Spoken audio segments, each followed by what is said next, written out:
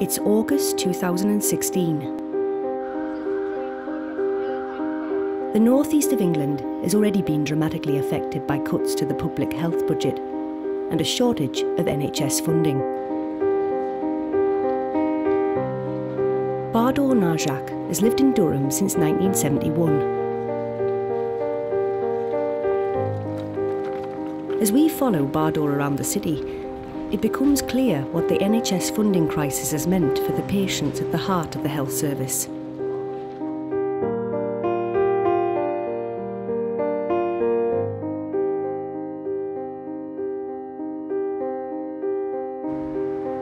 Basically, my wife was diabetic.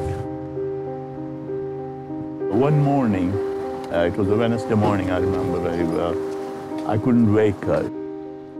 So the ambulance brought us here. They put her on a glucose drip, and in about a couple of hours, she was okay. On Sunday morning, they rang and said, your wife is very poorly, come immediately. So I came, the doctor sat me down and said, I'm sorry to tell you, your wife had cardiac arrest.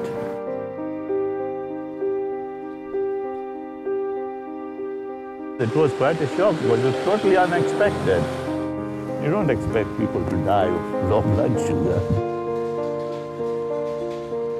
So I asked the nurse, when did you last see my wife? She said, oh, she went to the toilet about uh, two hours ago. There was one nurse looking after 25 patients. Most of them were very sick. And so what I suspect, and this is my suspicion, is she wanted to go to the bathroom. She rang the bell, no nurse came. She was desperate. She got off the bed, went to the bathroom, maybe fell down there.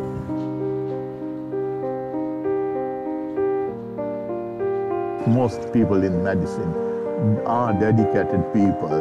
We need more people on the front line, the nurses, junior doctors, doctors, consultants.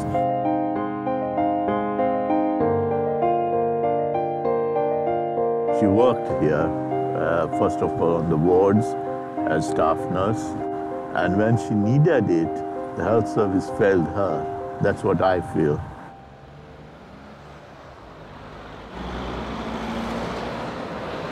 I noticed whenever you go to the hospital now, there's always longer waiting times because it seems like it's short staff these days. Um, I do have my auntie and that who works in the hospital. Uh, is she a nurse or? Uh, yeah, she's a, she's a nurse. I think the nurses are overworked, you know. No, definitely.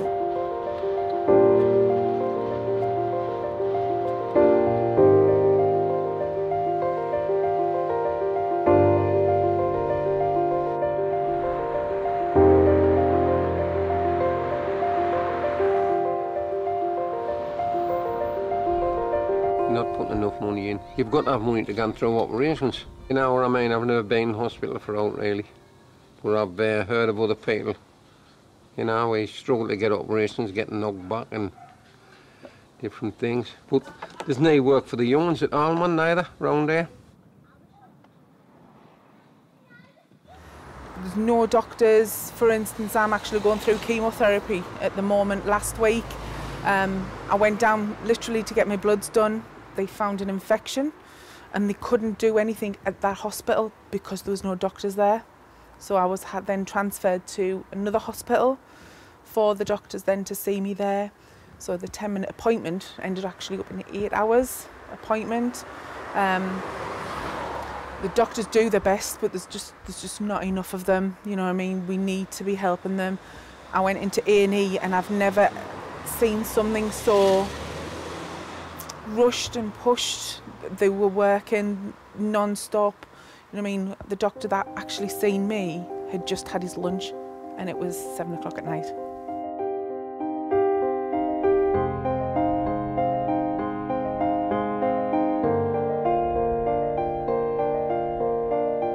Wally had a hip operation five years come October and it went very well and his other hip was fine until the last about 12 months. So we went to the doctor to a referral. He knew it was then ready for it to be replaced. The last time he went for his hip, and it wasn't as bad, there was four weeks from him being referred to him having his operation. It's now been four months. I can walk at my own speed if I take my time, you know. Just get the pain in the hip, you know, when you stand up.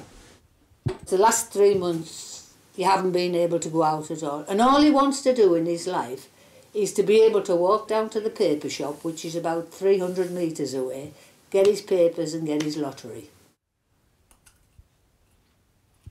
He doesn't want any more, do you? No. And that was his lifeline because he knows lots of people and he stops and he talks to them. Well, now he's in a position where he's almost isolated in the house.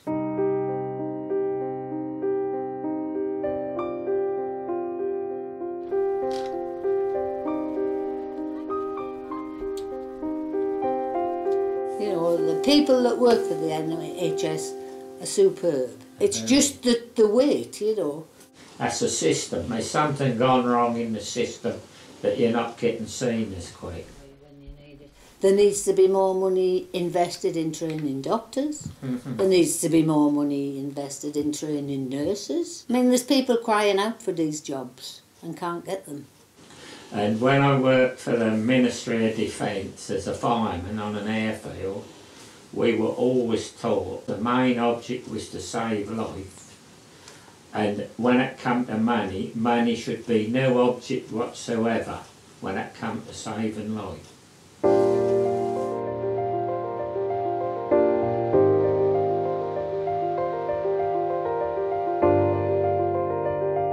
Health Secretary Jeremy Hunt is getting ready to push through a new wave of plans which will starve the NHS of even more funds. They're called Sustainability and Transformation Plans, and there's one for every area in England. Hidden within them is a requirement for the NHS to make big cost savings. In many areas, that means frontline cuts. How can you reduce costs on something that's on like the last string, if you want to say it that way? You know what I mean? How are they going to do it? We're just going to go under, really, aren't we? It's not going to work. You know what I mean? So what do you think needs to happen? More funding. Put a little bit of money in for a few years, make it make it efficient by all means. You know, if there's wastage and things like that. But it's got to be for everybody. Joe public never have enough say in anything. Know. And what should we do then? Start a revolution. Yeah. Oh, Are we too old to start a revolution? Forty years ago, ago we would have started a revolution, wouldn't we?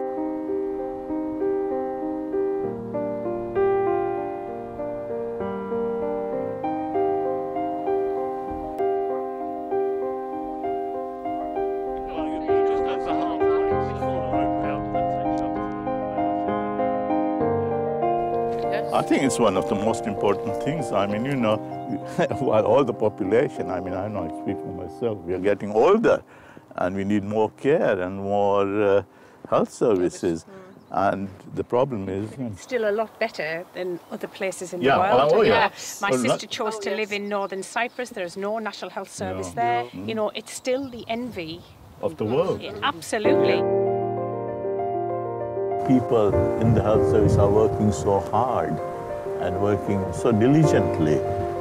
I remember when she was on the wards, I used to come and pick her up and drop her, and she would be at half an hour, an hour late. And she said, yes, but I had a very poorly patient, and I couldn't just leave him or her. She devoted her life to working for the health service.